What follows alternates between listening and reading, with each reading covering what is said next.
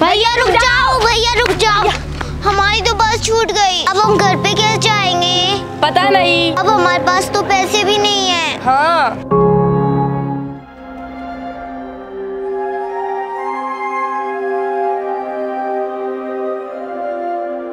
चलो हम भीख मांगते हैं। तुम उस साइड जाओ मैं इस साइड जाती हूँ ठीक है? भैया भैया मुझे कुछ दे दो। हमारी बस टूट गई मुझे घर जाना है। दीदी दीदी कुछ पैसे दे दो। अच्छा ये लो पूरे रख लो तुम ठीक है? थैंक यू दीदी। भैया भैया मुझे एक प्लेट चिकन लगा दो। भैया आपको पैसे मिले? नहीं। देखो मुझे मिले हैं। चलो घर चलते हैं। हाँ चलो। बच्चे मन के भोले होते हैं लेकिन जैसे ही वो बड़े होते हैं तो समझदार और इंटेलिजेंट भी होते जाते हैं और मतलबी भी।